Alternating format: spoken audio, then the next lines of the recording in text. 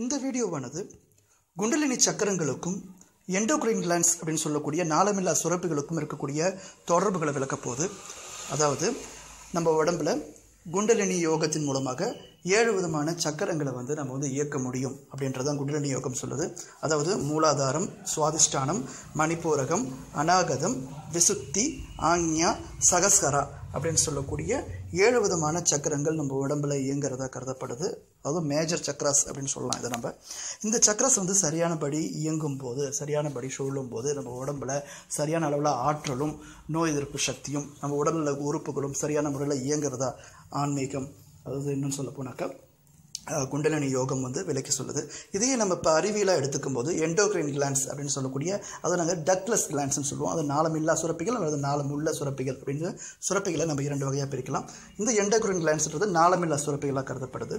அதாவது இப்போ இந்த மூலாதாரம் எந்த சுரப்பியோட தொடர்புபடுத்தப்படுது அப்படின்னாக்கா இது வந்து ஒரு ரூட் சக்கரா அல்லது பேஸ் சக்கரா அப்படின்னு சொல்லலாம். இது வந்து பார்த்திங்கன்னா செக்ஷுவல் கிளான்ஸோட கனெக்ட் ஆகப்படுது. அதாவது இனப்பெருக்க சுரப்பிகள் அப்படின்னு சொல்லலாம். ஆண்களுக்கான டெஸ்டஸ் அப்படின்னு சொல்லக்கூடிய சுரப்பி பெண்களுக்கு பார்த்தீங்கன்னா ஓவரிஸ் கருப்பை அப்படின்னு சொல்லக்கூடிய இந்த சுரப்பிகளோட இந்த மூலாதார சக்கரமானது தொடர்படுத்தப்படுது சுவாதிஷ்டானம் அப்படின்றது பார்த்தீங்கன்னாக்கா இந்த தொப்புள் பகுதியிலேருந்து கொஞ்சம் கீழே நாலு இன்ச்சு கீழே இருக்கக்கூடிய ஒரு சக்கரம் தான் வந்து இந்த சுவாதிஷ்டானம். இது அதில் கீழே இருக்கக்கூடிய அட்ரினல் அப்படின்னக்கூடிய ஒரு சுரப்பியோட வந்து இது தொடர்புபடுத்தப்படுது. இது கிட்னி பக்கத்தில் வந்து இது லொக்கேட் ஆகிருக்கு அடுத்தது மணிப்பூரகம் அப்படின்றது வந்து பேன்க்ரியாஸ் கணையம் அப்படின்னு சொல்லக்கூடிய ஒரு உறுப்போடு இது கனெக்ட் ஆகுது. இது தொப்புள் பகுதியிலேருந்து ரைட் சைடில் இருக்கக்கூடிய ஒரு உறுப்பு. இந்த கணையமானது இந்த வயிற்றுக்கு பின்புறமாக இருக்கக்கூடிய ஒரு உறுப்பாக வந்து இது கருதப்படுது.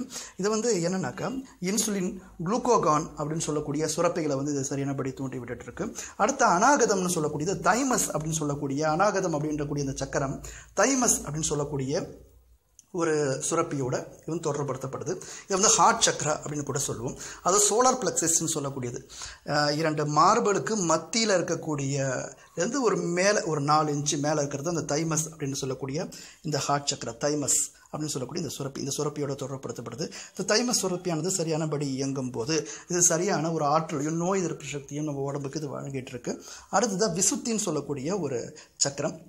இந்த சக்கரம் வந்து நம்மளோட கழுத்து பகுதிக்கு இருக்கக்கூடிய சக்கரம் இது. இந்த சக்கரம் இதோட தொடர்புபடுத்தினா அதே கழுத்து பகுதியில் இருக்கக்கூடிய தைராய்டு பேரதைராய்டு அப்படின்னு சொல்லக்கூடிய இரண்டு விதமான சுரப்பிகளோடு அது தொடர்புபடுத்தக்கூடியது. இப்போ தைராய்டு அப்படின்னாக்கா நம்முடைய வளர்ச்சியை தூண்டிவிடக்கூடிய ஒரு சுரப்பி இது. அடுத்ததாக தைராய்டு கீழே இருக்கக்கூடிய சுரப்பி தான் பேரதைராய்டுன்னு சொல்லக்கூடிய சுரப்பி. இது வந்து கால்சியம் லெவலில் நம்ம உடம்பு ஃபுல்லாக ஸ்ப்ரெட் பண்ணக்கூடிய ஒரு விதமான ஒரு சுரப்பி இது. இந்த விசுத்தியானது தைராய்டு பேராதைராய்டோட கனெக்ட் ஆகுது. அடுத்த ஆங்கியான்னு சொல்லக்கூடியது. அது இரண்டு புருவ மத்தியில் இருக்கக்கூடிய சக்கரம் இது. மூக்குக்கு மேல் பகுதியில் இருக்கக்கூடிய சக்கரம்.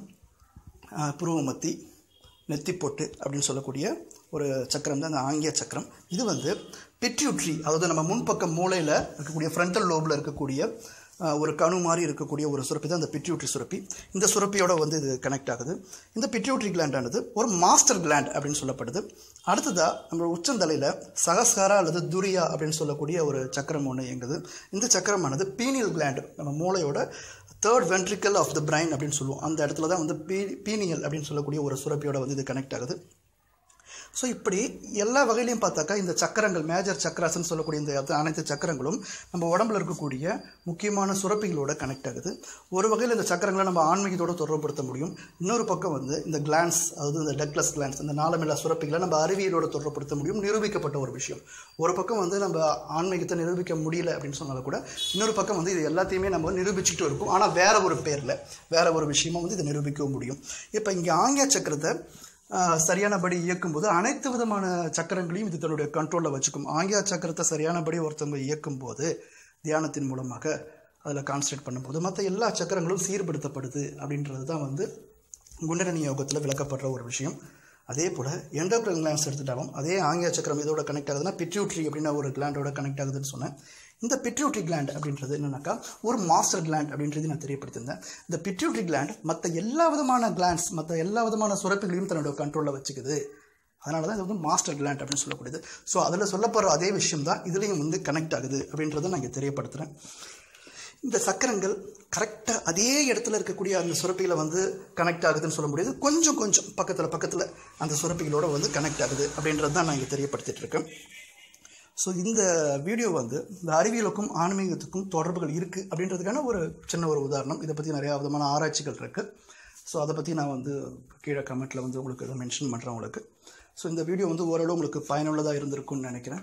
இப்போ இந்த குண்டலினி யோகம் பழகணும் அப்படின்னு நினைக்கிற நீங்கள் இப்போ வேதாத்திரி மகரிஷியுடைய சிம்பிளிஃபைடு குண்டலினி யோகா அப்படின்னக்கூடிய ப்ராக்டிசஸ் வந்து வேர்ல்ட் ஃபுல்லாக முக்கியமாக இந்தியாவில் தமிழ்நாட்டில் மட்டும் இல்லை எல்லா இடங்கள்லையுமே வந்து முக்கியமான இடங்களில் ஒரு குவாலிஃபைடு மாஸ்டர்ஸ் மூலமாக வந்து சொல்லிக் கொடுக்கப்படுது.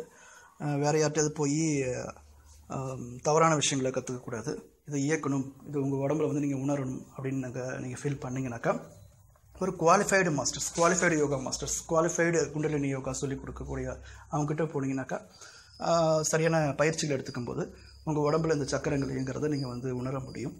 ஸோ இந்த சக்கரங்கள் தான் வந்து கிளான்ஸ் அப்படின்னு சொல்லக்கூடிய சுரப்பிகளோட கனெக்ட் ஆகக்கூடிய ஒரு விஷயம்.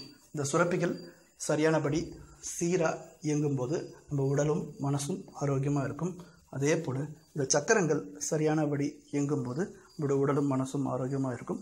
ரெண்டுக்குமே கனெக்ஷன்ஸ் இருக்குது ஸோ இந்த விஷயங்களை தெரியப்படுத்தியிருக்கேன் இந்த வீடியோவில். இந்த வீடியோ உங்களுக்கு பயனுள்ளதாக இருந்துச்சுன்னு சொன்னாக்கா நீங்கள் லைக் பண்ணுங்கள் வேறு யாருக்கும் இந்த இன்ஃபர்மேஷன் பாஸ் ஆகும்னு நினச்சிங்கனாக்கா நீங்கள் ஷேர் பண்ணுங்கள் இந்த வீடியோக்கு சேனலுக்கு நீங்கள் புதியவராக இருந்தாக்கா கீழே ரெட் கலரில் சப்ஸ்கிரைப் அப்படின்ற பட்டனை நீங்கள் கிளிக் பண்ணிக்கோங்க. சப்ஸ்கிரைப் ஆகிடுங்க இதன் மூலமாக நீங்கள் நான் அப்லோட் பண்ணுற வீடியோக்கள் வந்து உங்களை சென்று அடையும். தேங்க்யூ ஃபார் வாட்சிங்